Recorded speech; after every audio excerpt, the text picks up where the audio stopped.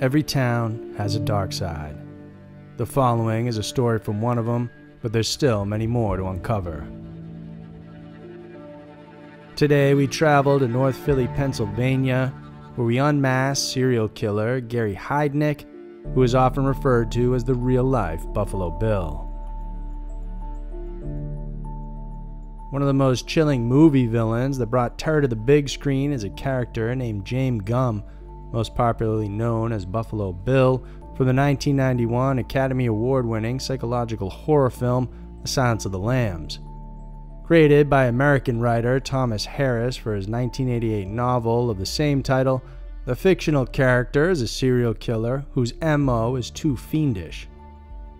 He relishes kidnapping overweight women depriving them of food for weeks, killing them, and then skinning their bodies, dumping the victims in nearby rivers. As for the women's skin, Buffalo Bill makes them into a woman's suit for himself. This prods one to ask where did this idea come from, and if there is in fact a real Buffalo Bill who exists somewhere in the world, where and who is he? The answer is partially yes, because it turns out that Harris developed Buffalo Bill as a composite character, meaning he based it not just on one or two or three, but six real life serial killers. And one of them was Gary M. Heidnik, who kidnapped, raped, and tortured six women while holding them prisoner in a pit. He was finally sentenced to death and executed by lethal injection on July 6, 1999, at the age of 55. I'm Andrew Fitzgerald, and welcome to this week's episode of Everytown. Who really was Gary Heidnik from North Philly, Pennsylvania? Join me today as I unmask one of the most nefarious serial killers in America who paid with his life for the women he brutally tortured and murdered.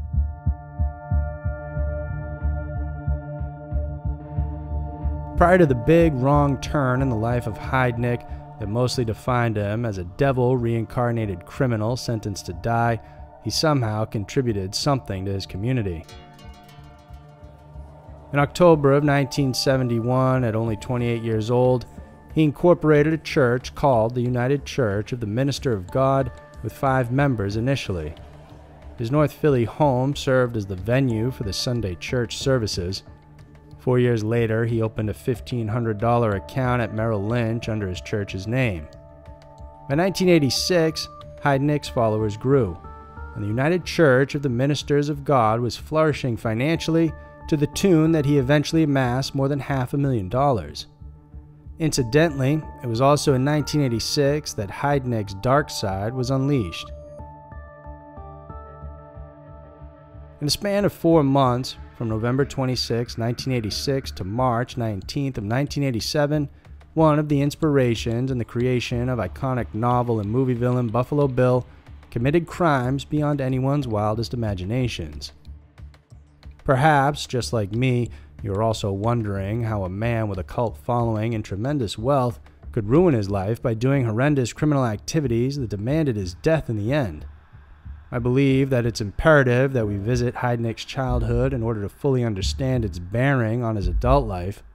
As author Stuart Stafford has said, adulthood is an attempt to become the antithesis of the wounded child within us. Let's rewind Heidnik's story to more than seven decades ago. He was born on November 22, 1943, to his parents, Michael and Ellen, and became an older brother to his sibling, Terry. They lived in the Eastlake suburb of Cleveland, Ohio, which is referred to as the crown jewel of Lake County. But there was nothing to be cherished about the Heidnik family. The tie that held them together was broken when Michael and Ellen got divorced in 1946. At that time, Heidnik was only three years old, and he and his younger brother were raised in separate homes. For four years, the siblings were taken care of by their mother, they then spent the next seven years with their father and his new wife. Living with his dad was described by Heidnik as a difficult period in his life. On top of grappling with the sad realities of his parents' separation, Idiot. Heidnik admitted that his father emotionally abused him. Stupid. It stemmed from Heidnik's bedwetting, which became a lifelong problem for him. His father supposedly abhorred this and humiliated his eldest son by forcing him to hang the soiled sheets by the windows of his room for all the neighbors to see. However, Michael denied these allegations after his son's arrest in 1987. Heidnik also behaved strangely in school. He refused to interact with the other students, not even looking into their eyes. In one instance, he shouted at a new female classmate who asked him about their homework and told her that she wasn't worthy enough to even talk to him. Heidnik's reclusive behavior probably led to getting bullied about his odd shaped head, to which the Heidnik brothers reasoned out that it was the effect of Gary falling from a tree. In contrast to his poor social skills, Heidnik excelled academically and tested with an IQ of 148, which is interpreted as being very gifted and highly advanced.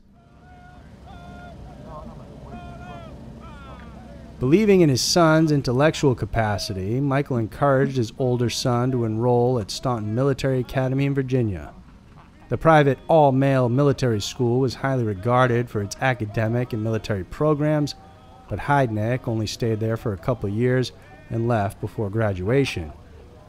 By the time he was 17, he joined the U.S. Army, where his drill sergeant commended his excellence during basic training.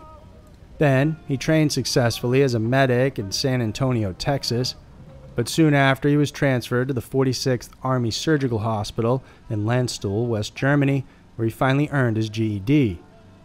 When things were finally working great for Heidnik, as he excelled within the military environment, he got sick in August of 1962. His complaints of severe headache and dizziness, blurred vision, and nausea were detected by a neurologist as signs of a mental illness so he was then prescribed an antipsychotic drug called stelazine. Two months later, Heidnik was confined in a military hospital in Philadelphia and was diagnosed to be suffering from schizoid personality disorder. That type of disorder is characterized by emotional aloofness and solitary habits. Consequently, Heidnik was honorably discharged from military service with a full disability pension.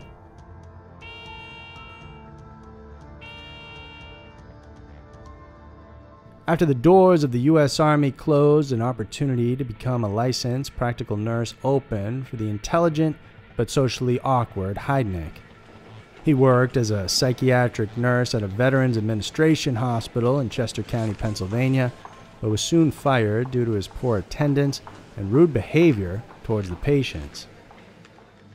Then the tables turned. Heidnik became a frequent patient in psychiatric hospitals from 1962 until his arrest in 1987 due to his serious bouts of depression.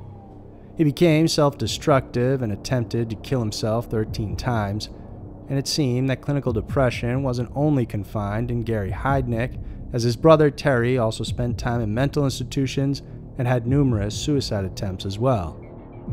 Their mother took her life by drinking mercuric chloride in 1970 while battling bone cancer and undergoing the effects of alcoholism. There were more dark secrets in Heidnik's life that may have seriously bruised his mental and emotional well being. So Heidnik was off to a rough start, but more harrowing episodes in his life transpired, which ultimately turned him into the diabolical monster of Marshall Street in North Philly, Pennsylvania. The breakup of his parents' marriage and his mental condition didn't deter Heidnik from finding his own bliss. Through a mail order bride scheme, he met the only woman he married, Betty Disto, from the Philippines. Owing to his antisocial behavior, I presume that it was only through correspondence that Heidnik could establish an emotional relationship with a woman. So, after two years of exchanging letters, he proposed to Disto.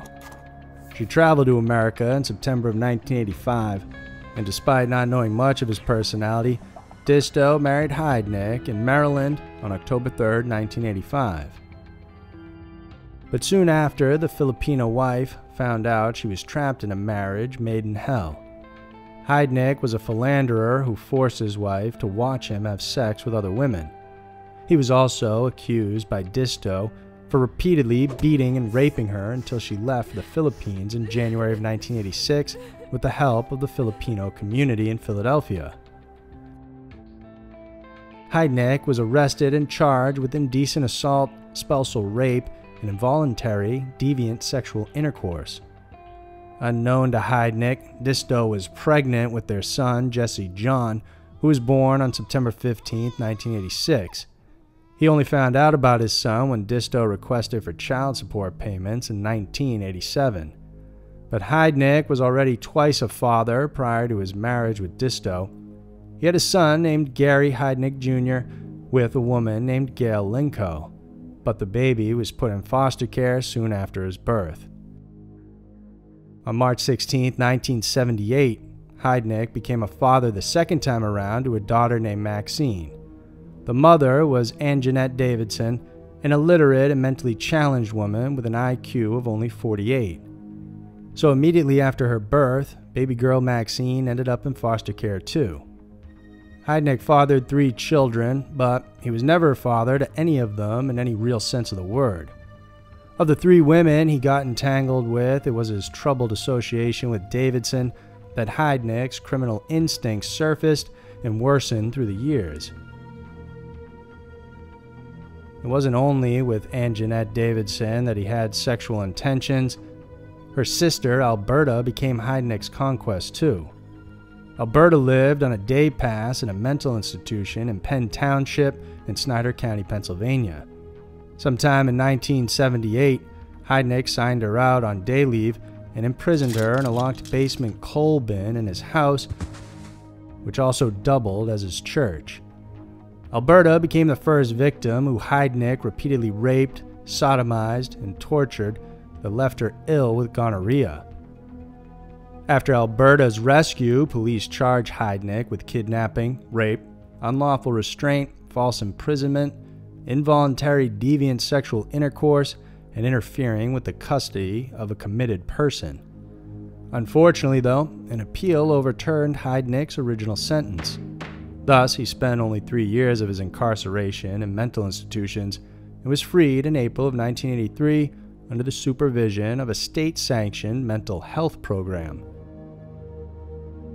Three years after this revolving episode in his life, Philadelphia and the whole of America saw the worst yet of Gary Michael Heidnik. He wasn't filled with remorse, instead, he was madly driven by the deadly R, revenge. North Philly became the hotbed of his unfathomable crimes as he hunted for more victims and made sure that law enforcers were oblivious of his felonious activities. The basement of his home at 3520 North Marshall Street in North Philadelphia was turned into a torture dungeon which became known as the House of Horrors. The pit witnessed the agonies of the six female captives at the hands of Heidnik, two of whom callously died. A common thing among them was they were all black women and mostly prostitutes.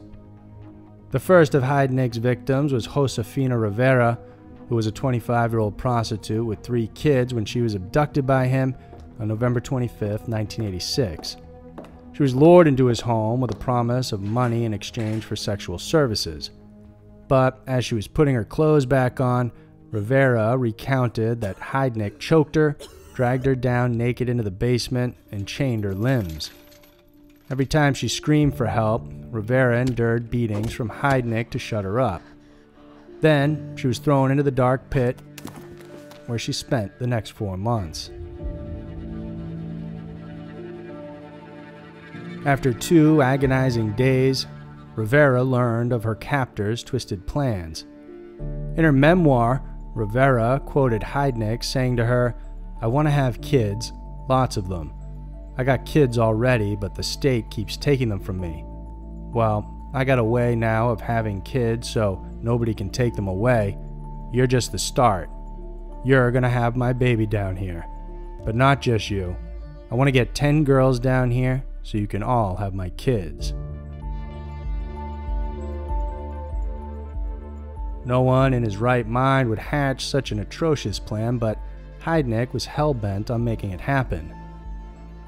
On December 3, 1986, he brought home 24 year old Sandra Lindsay, who was mentally disabled. Lindsay was likewise chained in the same fashion as Rivera's, and both women were alternately sexually abused by Heidnik. Then, two days before Christmas in 1986, Heidnik gifted himself with a third victim, Lisa Thomas, a 19 year old single mother. He offered her a lift during a cold winter day, treated her to lunch, and brought her to his house in the pretense of capping the day off with a glass of wine. Thomas lost consciousness, though, and when she woke up, she had been raped by Heidnik and chained like the other victims. Heidnik welcomed 1987 by kidnapping Deborah Dudley on January 2nd and added her to his collection of basement captives.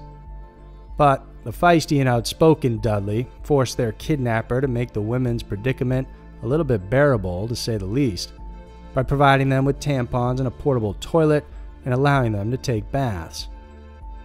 More than two weeks later, 18 year old Jacqueline Askins fell prey to Heidnik's modus operandi and became the youngest among his ill fated victims. With five women to fulfill his sexual desires, Heidnik should have been content. But when any of the women misbehaved, causing his plans to go awry, Heidnik would punish them in the most inhumane ways. This led to the ghastly deaths of Lindsay and Dudley in 1987, turning Heidnik into a certified killer. When Lindsay was caught crawling out of the pit in the basement, Heidnik suspended her by her wrist from a beam. A week of torture, starvation, and untreated fever inevitably caused the death of Lindsay in February of 1987. But what Heidnik did after she had died could be deemed as a demonic act, and this is a warning what I'm about to detail can be revolting to the senses. Realizing his cruel punishment killed Lindsay, Heidnik brought her dead body upstairs. Using a power saw, he dismembered her, but had difficulty dealing with Lindsay's limbs. Her arms and legs ended up inside the freezer as dog food, while her ribs were oven roasted and her head pot boiled. When his neighbors' complaints about the foul odor drove the local police to come knocking on his door, the smart Heidnik simply told them, I'm cooking a roast I fell asleep and burnt it. So, what to do with his dead victim's body parts? Heidnik ground them up and mixed them with dog food, and voila!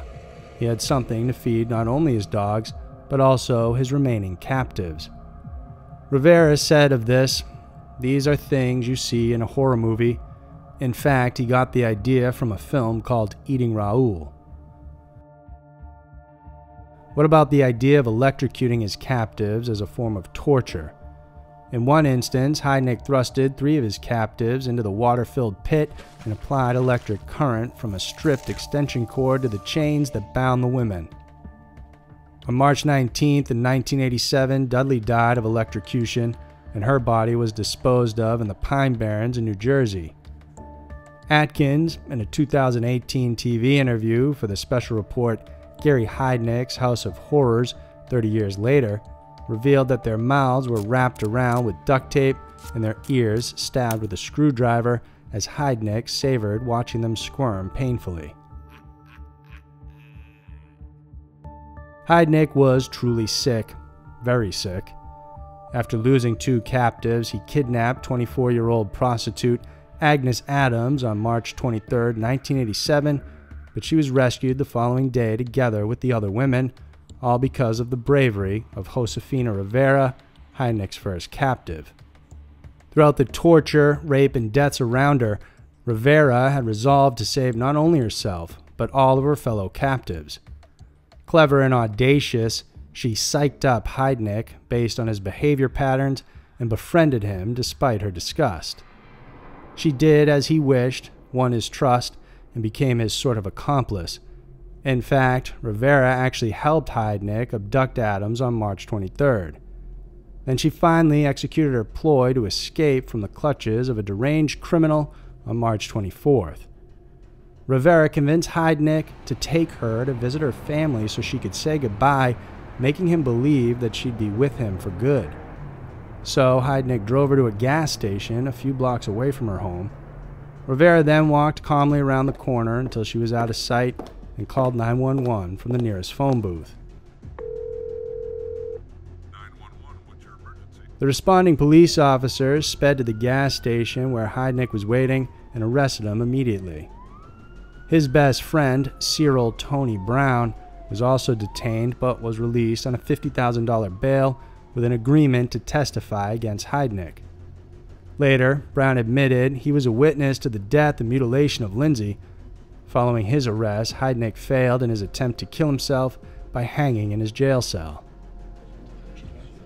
During Heidnik's trial, his defense lawyer, Charles Peruto Jr., attempted to prove that his client was legally insane, but it was successfully rebutted by the prosecution, led by Addy Charles F. Gallagher III.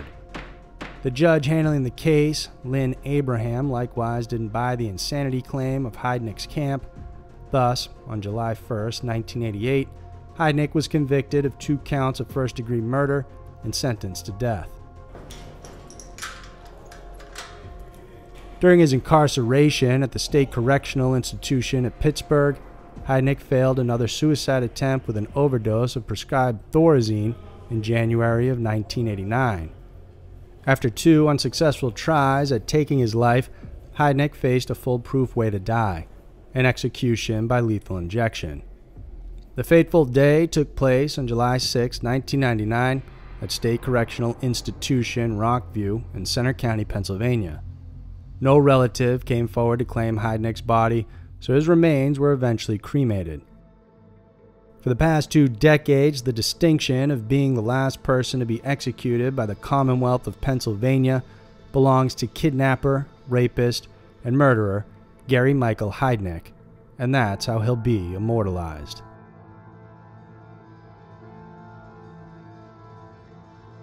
This episode of the Everytown Podcast is being sponsored by our friends over at the Deadbolt Mystery Society who have an awesome monthly subscription box service that, if you guys are fans of true crime and unsolved mysteries, you really need to check out. Each box contains its own mystery where you do things like hunt down a killer, solve a kidnapping, or stop a madman before it's too late. Recently, I've been solving the Pretender box, which sends you to a horror author's house that sits on an isolated lake. It gets pretty intense, and you receive a ton of evidence and the coolest part is there are also QR codes throughout the contents that show you videos, photos, and other evidence, so you get truly immersed in this box trying to figure out who the pretender is before they strike again. Cratejoy has over 260 reviews by people just like you that have joined the Deadbolt Mystery Society, and they average 4.9 out of 5 stars, which Deadbolt totally deserves. Go to deadboltmysterysociety.com today and use the code DEADBOLT20 to get 20% off any subscription or single box right now. Again, that's 20% off when you use the promo code DEADBOLT20. Come join the Deadbolt Mystery Society today. So that's it for this week's episode of Everytown. Please subscribe and let us know if you have any stories that you'd like us to cover. And for more creepy stories, make sure to check out our other podcast and YouTube channel called Scary Mysteries. Tune in next week for another episode filled with scary, strange, and mysterious stories about every town out there. And who knows, maybe your town will be next.